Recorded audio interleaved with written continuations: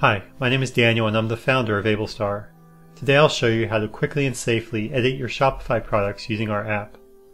Editing your products can be daunting and you don't want to make a mistake. That's why we've designed Ablestar Bulk Product Editor to be the fastest and safest way to update your product data in Shopify. There are three steps to this process.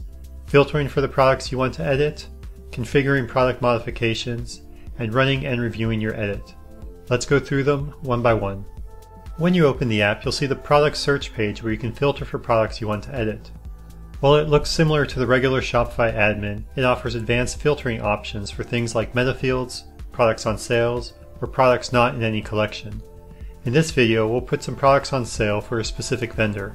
There are two ways to select the products, through the search bar or with the Add Filter dropdown. The search bar is good for general searches, but we recommend using Add Filter if you know exactly what you're looking for.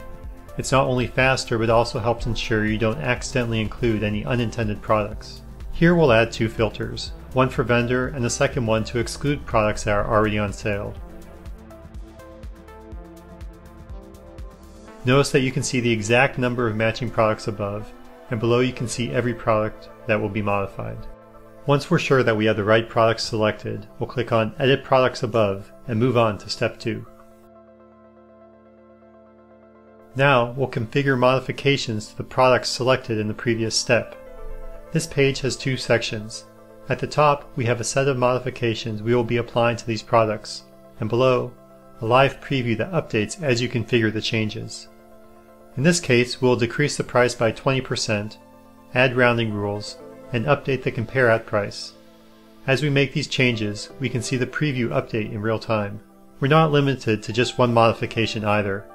Let's also add a tag to the products and include them in a custom collection. For each of these steps, we can preview the modification to ensure that we know exactly what we're going to change. Once everything looks good, we can click on Run Edit and the app will start updating our products. Now the app is modifying your products in the background. You don't need to watch this, you can go to another page in your browser, grab a coffee, or do something else. For every product field the app modifies, it keeps a copy of the value of that field before and after the edit. This allows you to quickly revert or undo the edit if needed.